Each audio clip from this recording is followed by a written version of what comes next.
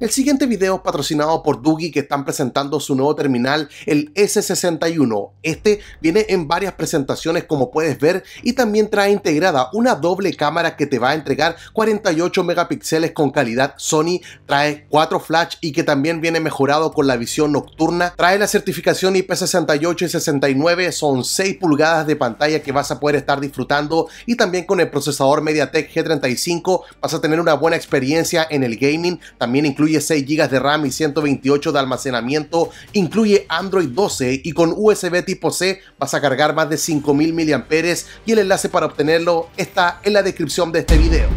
Hola, hola, ¿qué tal? ¿Cómo estás? Espero que muy bien. Acá, el profe Juan Antonio, desde Arica, Chile, te doy las gracias por estar en este video y la bienvenida al noticiero del profe tu noticiero del jailbreak. Ya en estos días Apple estuvo liberando la última al parecer de las betas de iOS 16, vamos en la número 7 para desarrolladores, no trae grandes novedades pero sería la versión anterior a la RC, a la candidato a ser liberado allí en los primeros días de septiembre. Y la gente de Alstor como es costumbre nos estuvieron confirmando que su herramienta tanto para Windows como para macOS está funcionando sin ningún tipo de error, así que si estás en iOS 16 y quieres estar instalando alguna aplicación que esté modificada con Twix o Fortnite, la que quieras, lo puedes estar realizando con este tutorial que si bien es para iOS 15, se hace de la misma forma en iOS 16, lo único que hay que estar añadiendo es el modo developer que se activa tal como te muestro en este breve tutorial. Ahora hablando del jailbreak de Chillout, ya sabemos que este se ha confirmado para iOS 15 y este equipo ha tenido varios logros en realidad como por ejemplo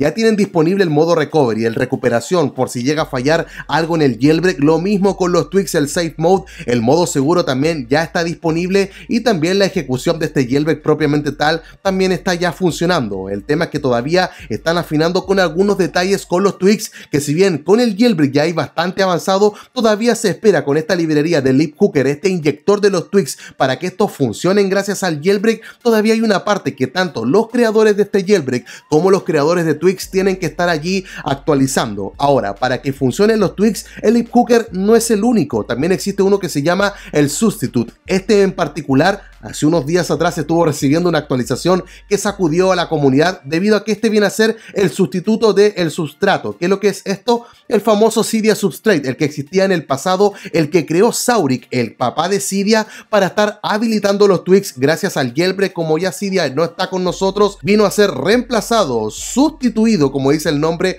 con todo lo que es este inyector de tweaks, que tiene algo muy particular porque funciona tal como lo conocemos en el jailbreak, el imparchable y el de por vida, el de Checkgrain. El tema es que este jailbreak es compatible con los equipos que tienen un procesador A11, un iPhone X, un iPhone 8 hacia abajo, pero también el sustituto sirve para correr los tweaks en el legendario jailbreak de Uncover y es acá donde viene el tremendo notición. Porque en esta última versión, la 2.3.0, podemos ver dos grandes cosas. La primera que se añade allí un soporte a iOS 15 y también a iOS 16 bueno, esto de iOS 15 ya lo habíamos visto antes, fíjate nada más porque el 30 de agosto del año pasado prácticamente Hace 12 meses atrás, ellos ya habían anunciado que habían añadido un soporte del sustituto para iOS 15, pero ahora es distinto, porque cuando mencionan allí en iOS 15 añaden que también se ha solucionado la parte del pack. Y esto del pack bypass sabemos que es una medida de seguridad que Apple estuvo implementando para todos los dispositivos que tienen un procesador A12, A13, A14, A15, que son estos que estás viendo acá en pantalla. Y saber que el sustituto, el que permite el funcionamiento de los tweaks,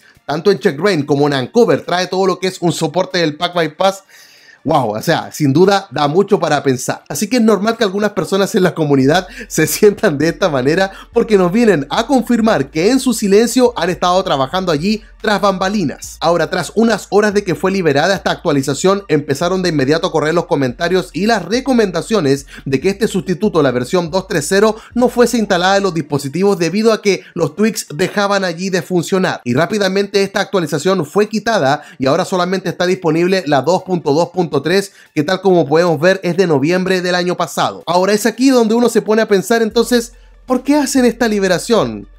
¿Será que realmente si viene algo para iOS 15? Esto del Pack Bypass para estos equipos más recientes en iOS 15 y esto del soporte de iOS 16. Wow, la mente sin duda se va a volar. ¿Y dónde es que aterrizan nuestros pensamientos? Creo que lo que estás viendo acá en pantalla. No sé si lo puedes reconocer.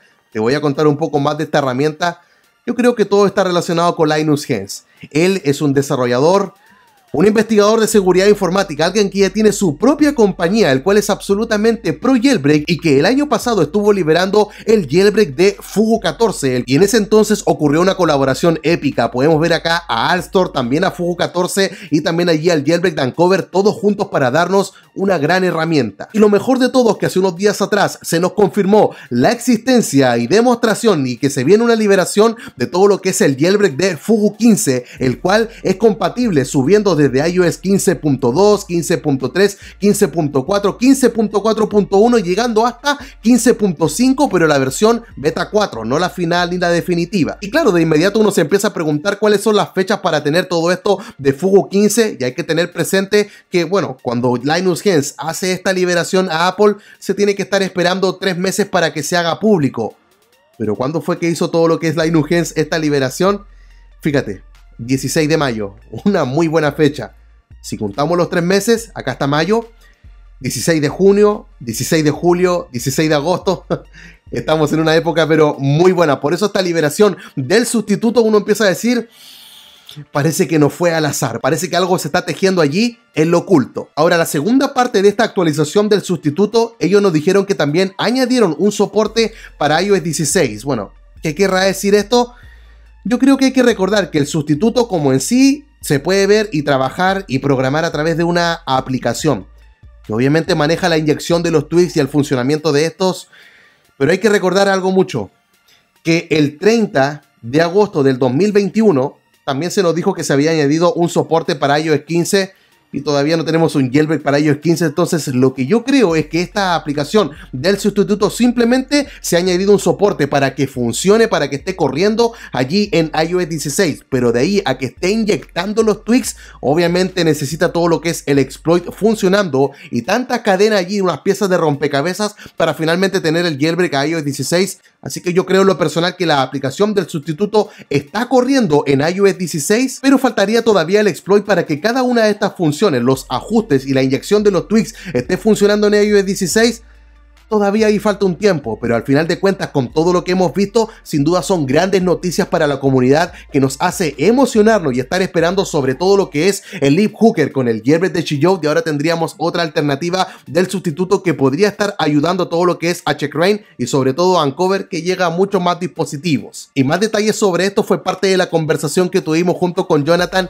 en el podcast que se publicó el fin de semana pasado, así que no te lo vayas a perder. Y cualquier otra novedad, tú ya sabes que te la voy a estar compartiendo en este canal porque subo contenido relacionado con esto mismo todas las semanas. Así que sería todo eso por esta ocasión. Se despide ahora el profe Juan Antonio desde Arica, Chile. Te espero esta semana con otro video. Chao, chao.